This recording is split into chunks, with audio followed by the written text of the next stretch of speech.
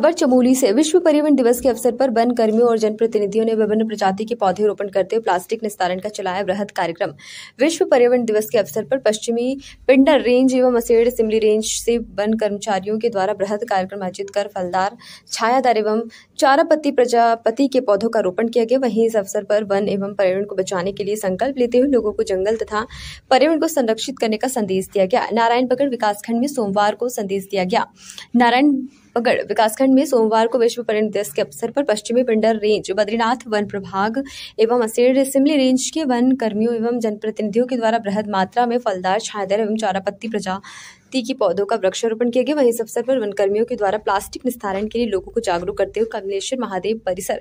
आली बाज़ार, रेंज कार्यालय व विभिन्न क्षेत्रों में बिखरे हुए प्लास्टिक वस्तु को एकत्रित कर नष्ट किया गया। इस अवसर पर ब्लॉक प्रमुख जनप्रतिनिधियों और वन सरपंच संघ के अध्यक्ष की मौजूदगी में पर्यावरण एवं जंगलों को बचाने के लिए संकल्प लिया गया। वहीं इस अवसर पर ब्लॉक प्रमुख यशपाल नेगी,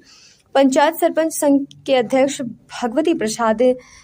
सती, वन क्षेत्र अधिकारी पश्चिमी पंडर रेंज, भरत नेगी, सुरेंद्र सिंह विष्ट, वन क्षेत्र अधिकारी मनोज प्रसाद, देवराडी, वन दरोगा, मोहन प्रसाद सतीशपाल सिंह नेगी, मोहन विष्ट, वन दरोगा, देवेंद्र प्रसाद सती, बलवंत सिंह, लाल बहादुर, आर्य समेत बड़ी संख्या में वनकर्मी, पैरालीगल वॉलियंटर्स एवं जनप्रतिनिधि मौजूद रहे। के महत्व के विषय में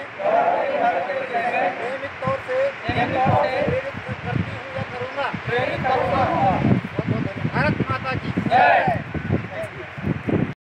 आज विश्व पर्यावरण दिवस के मौके पर यहाँ पे पहुँचे हुए नारायण बगड़ फॉरेस्ट विभाग के अधिकारी, कर्मचारीगण तथा विधिक सेवा से जुड़े हुए सभी मातृशक्ति, आप सब लोगों को पर्यावरण दिवस की बहुत बहुत बधाई एवं शुभकामनाएँ। देखिए, पर्यावरण हमारे जीवन का एक अंग है। आदमी का जीवन पर्यावरण यदि शुद्ध है, उसका स्वास्थ्य भी शुद्ध है, उसका आचार विचार भी शुद्ध है, और पर्यावरण से सबसे हमारे पहाड़ में जिस प्रकार से आज के दिन पर्यावरण से हमारे जो है,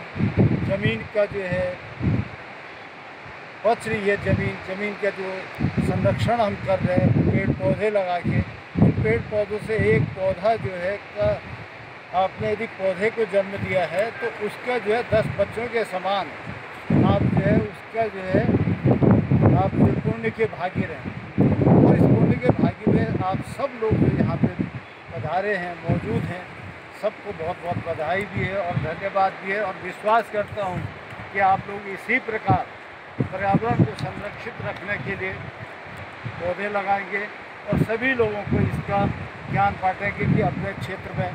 पर्यावरण को शुद्ध रखने के लिए आपको जो है पौधे लगाने हैं अच्छे अच्छे पौधे लगाने हैं ताकि आपका वातावरण शुद्ध इन्हीं सब के साथ आप सबका बहुत बहुत धन्यवाद। खबर भारतवर्ष के लिए चमोली उत्तराखंड से सुरेंद्र नेत्रा की रिपोर्ट। अपने शहर अपने प्रदेश की ताज़ा खबरों के लिए लाइक करें शेयर करें सब्सक्राइब करें। और हाँ बेल आइकन दबाना ना भूलें क्योंकि खबर हमारी फैसला जनतंत्र का।